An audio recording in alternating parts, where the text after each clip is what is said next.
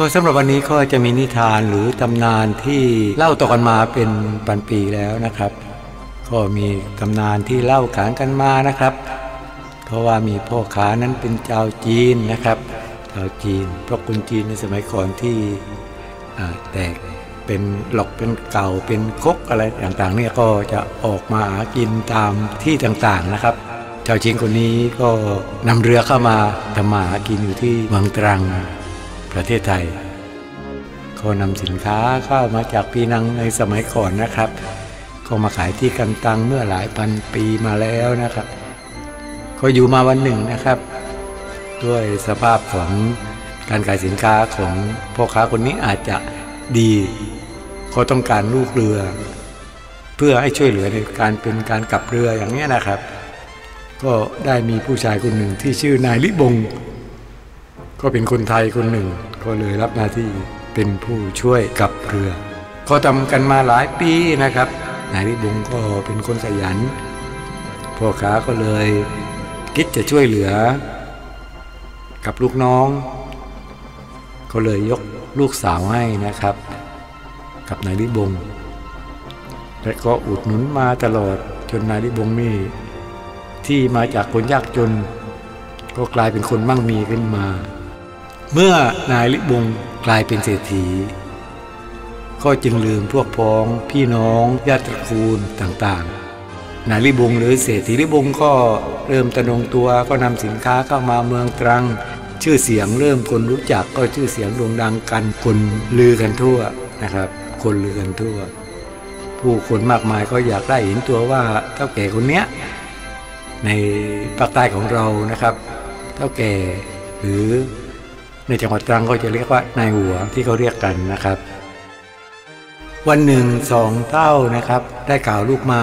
สองเต้าก็คือพ่อแม่ของนายลิบงดีใจนักหนาว่าลูกได้เป็นเท่าแก่ ได้เป็นนายหัวจึงไปรับขวัญก็ด้วยความที่คนเป็นบ้านๆก็ลกๆลันๆก็คือ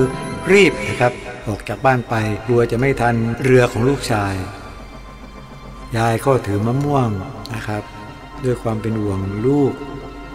ด้วยความเป็นห่วงสะพ้าย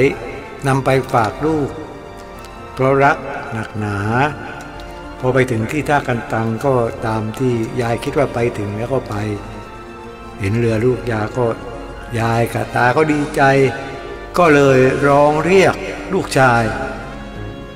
แต่สุดท้ายลูกไม่มองหน้า ยายก็แปลกใจเอะใจ ก็เลยยิ่งพาสงสัยว่า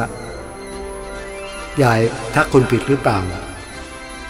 ก็ยืนคิดอยู่ในใจอยู่พักหนึ่งเขารีบเดินเข้าไปใกล้ชิดติดตัวไปเลยว่าใช่หรือไม่ใช่ ส่วนนายลิบงเนี่ยทำงงไม่ทักอีกแกล้งไม่รู้จัก และก็มองตีน จนถึงตลอดหัว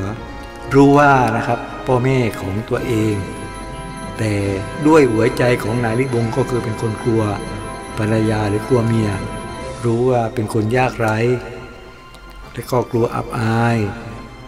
กับเมียเศรษฐีของท่านท่านลิบงนะครับ ก็เลยกลับไล่ตากับยายยายกับตาโดยที่ไม่คิดปราณีก็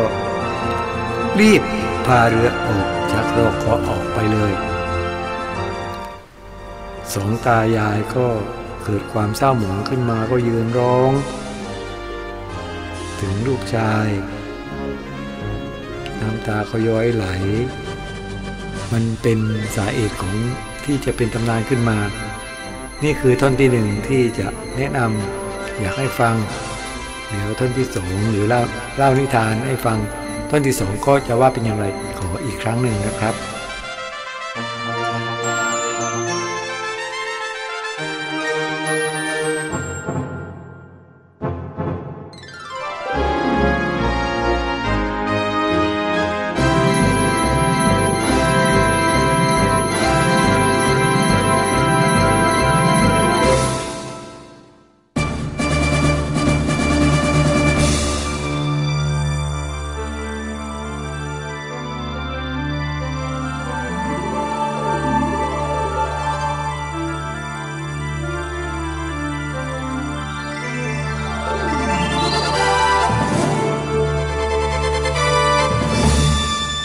ก็มาฟังนิทานตำนานเกาะทะเลตรังตอนที่สองกันนะครับ หลังจากที่ลูกชาย ได้พาเรือออกจากฝั่งไปแล้ว ตากับยายก็เสียใจ ก็เดินทางกลับ ทั้งสองก็ต้องร้องไห้ ยายก็เลยตัดสินใจทิ้งมะม่วงลงไปในสายน้ำเพราะว่าเสียใจว่าลูกไม่ยอมรับดินฟ้าก็เกิดอาเพศ และก็เป็นเอดอย่างไม่ใครคาดฝันขึ้นมา พอมีพายุพัดขึ้นมาคลื่นก็เกิดขึ้นโดนเรือของนายลิบง พอเรือถูกคลื่น ทุกคนก็ตกใจเศรษฐีลิบงก็กลัวตาย ร้องเรียกพ่อแม่กอดภรรยาร้องไห้ เรือก็เลยแตก เรื่องราวก็เลยผุดเป็นอนุสรณ์ขึ้นมา ตายายได้ข่าวลูกตายก็เสียใจตายตามลูกไป แต่ด้วยความเป็นห่วงลูก มันก็เกิดเป็นต้นมะม่วง ขึ้นมาแล้วก็มีเป็นปริศนา ก็คือต้นหนึ่งมีสองกิ่ง กิ่งหนึ่งหันไปหาฝั่งอีกกิ่งหนึ่งหันไปในทะเล กิ่งที่หันขึ้นมาทางฝั่งมีรสเปรี้ยว กิ่งที่ลงไปทางทะเล มีรสหวาน ส่วนนายลิบงเมื่อตายไป เวรกรรมก็